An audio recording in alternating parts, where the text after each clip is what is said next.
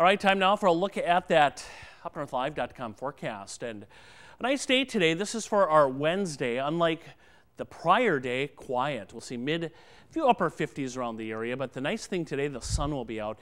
We'll, keep temperatures down in the 50s. And normally you'd like to see mid and upper 60s this time of the year is the fact that winds will be out of the north. So that will keep things on the cool side. But again, it will be dry and uh, pretty pleasant.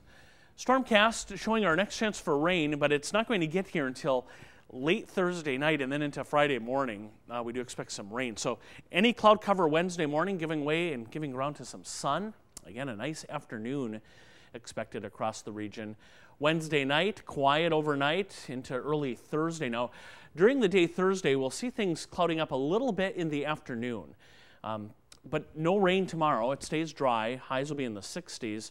And then here is that rain that sweeps through here Thursday night, early Friday, with clouds lingering then into Friday afternoon and evening. That rain will be light, no thunder expected, just a light rain. And again, if you go back to the beginning of spring, just about every location in our viewing area is still running a deficit on rain, even with the recent rain we've had. So we'll take what we can get. Nothing Wednesday, nothing Thursday. Again, Thursday night, here it is into early Friday. And most spots will be looking at between a quarter up to a half inch of rainfall. Temperatures the next few days, we start in the 30s. Highs on Wednesday again with that northerly wind only in the 50s. 60s expected by the time we head into Thursday afternoon right here, at least upper 50s, so it'll be a little bit warmer. Then that rain rolls in on Friday. That'll keep temperatures down in our northern counties in particular, a little warmer off to the south. And there's our seven day forecast. Low 60s Thursday. Friday, again, we sit around 61 degrees thanks to the clouds and some showers.